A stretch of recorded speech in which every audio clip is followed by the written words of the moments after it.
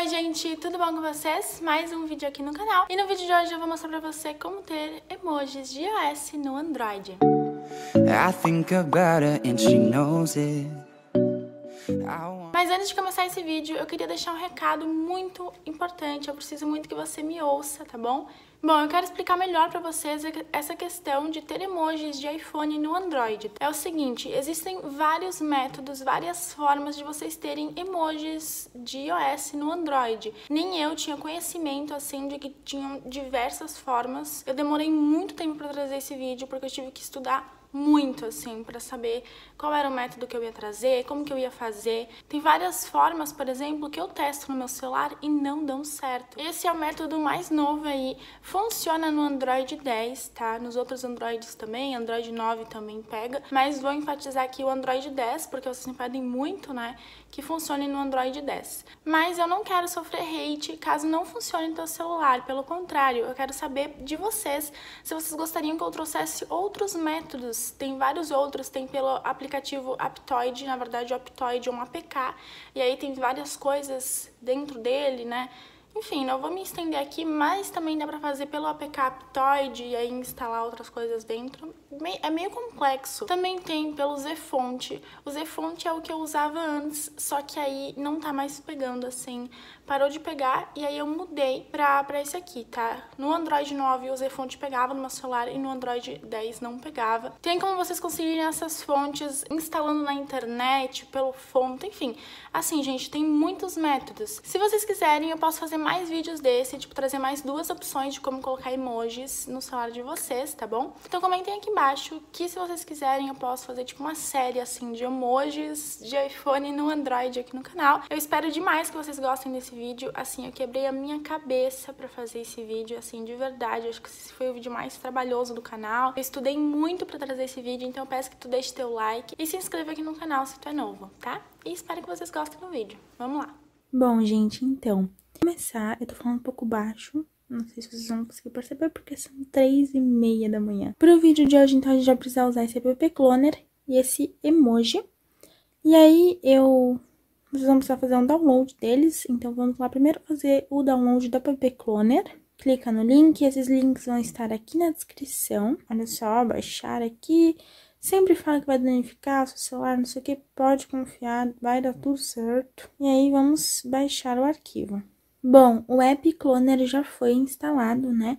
Mas vocês não mexam nele, tá? Deixa ali. E aí, agora a gente vai baixar aqui, fazer o download dos emojis. Então, não mexe lá no App Cloner, deixa lá e vamos fazer o download dos emojis. Esses emojis são os emojis do iOS 14 e estão, assim, muito legais. Vou esperar aqui também fazer o download. Então, enquanto espero, logo eu volto, tá bom? Assim, pra vocês vai parecer um passo de mágica.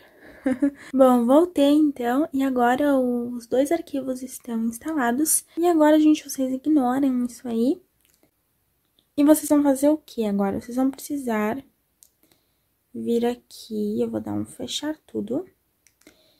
E aí, vocês vão precisar vir aqui e instalar esse aplicativo, é o gerenciador de arquivos, tá? Tem na Play Store, eu vou deixar o link para vocês aqui na descrição, junto com os outros dois links. E aí, vocês vêm aqui no gerenciador de arquivos, vão em download.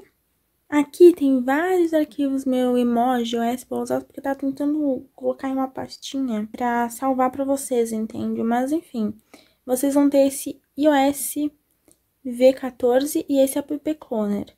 Então, vocês vão precisar clicar, tá? Nesse app cloner.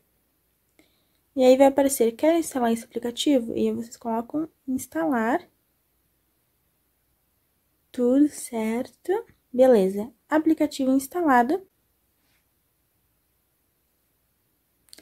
Olha só, galera, prestem muita atenção, porque Assim, é, é fácil, é um processo fácil, apesar de ser um pouquinho chato, é fácil. Parece difícil, mas é fácil. Aí aqui eu vou escolher um Instagram, tá? Aqui tá aparecendo é, aplicativos instalados recentemente, porque eu tive que desinstalar, instalar, enfim, pra estar tá fazendo esse tutorial aqui pra vocês. Mas pra vocês, provavelmente vai estar tá aqui mais pra baixo, tá? Porque vocês já devem ter instalado faz um pouco mais de tempo. Mas aí vocês procurem por aqui, ó. Instagram, tipo, vai estar tá assim pra vocês.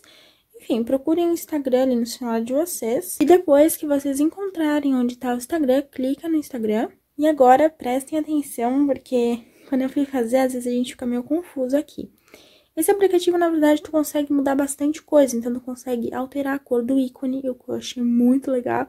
Então, tu consegue mexer na cor do ícone e tudo. É bem legal se tu quiser mexer. Mas eu não vou me aprofundar muito nisso aqui, tá?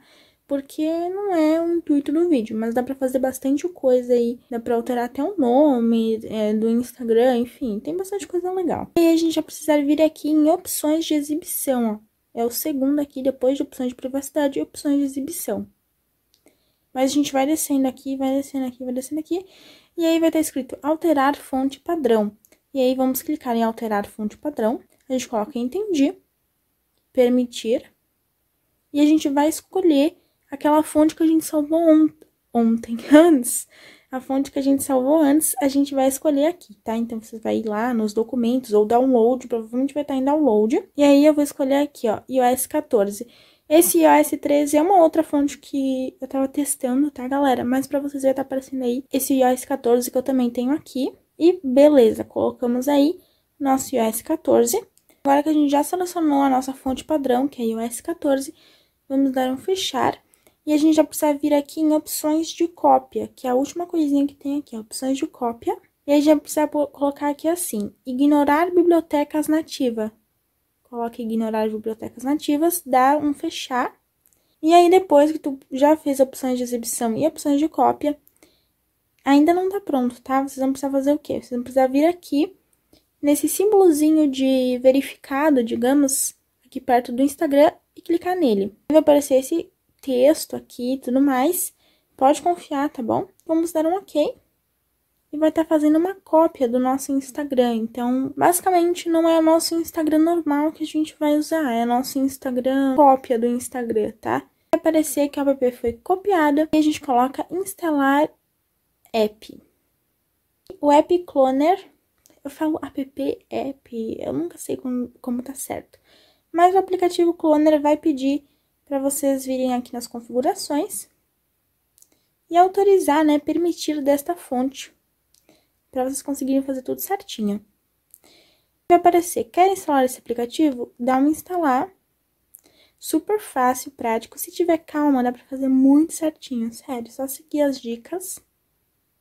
Apareceu aqui embaixo, ó, que Instagram instalado com êxito, então vamos lá ver, ó, tá aqui nosso Instagram, vamos clicar no Instagram.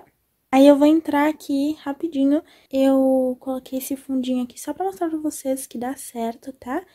E bom, agora a gente vai aqui nos emojis, e aqui no teclado ele não vai mudar nada, vai continuar os emojis do teu Android normal. Só que a diferença está quando você digita, olha só. Os emojis do iPhone, cara, eu amo de paixão esses emojis e esse método deu super certo, tá? Então, assim, é muito legal, tá super aprovado. Deixa eu colocar aqui outros emojis de coração. Tem coração marrom, tem coração preto, tem coração azul, tem muita coisa. Quase eu coloco um dedo do meio aqui. Enfim, gente, olha só, tem muita coisa. As comidinhas também acho que fica muito legal. Eu acho muito lindo mesmo os emojis do, do iPhone. Olha só, fica muito perfeito e dá super certo. E bom, pessoal, esse foi o vídeo. E só uma diquinha antes de finalizar o vídeo, tá? Se mesmo vendo esse vídeo tu não conseguiu seguir o meu tutorial, peço que você vá assistindo o vídeo e seguindo os passos junto com o meu vídeo. Então, eu vou fazer tal coisa no vídeo, a primeira coisa que eu faço, pausa o vídeo, vai lá, instala aquilo lá também e segue o vídeo junto comigo. Essa é a melhor maneira de vocês não se perderem e, assim, verem todos os passos certinho. Qualquer dúvida de vocês, deixem aqui nos comentários ou me mandem na DM do Instagram, se for uma coisa mais complexa, me mandem lá na DM do Instagram, que eu faço um videozinho aí, gravo a minha tela e mostro pra vocês. Lá pelo Instagram, um por um, é mais fácil pra mim do que responder uh, os comentários, se for algo, assim, muito complexo. Se inscreve aqui no canal que a gente tá rumo aos 100 mil inscritos. Um beijo e fui!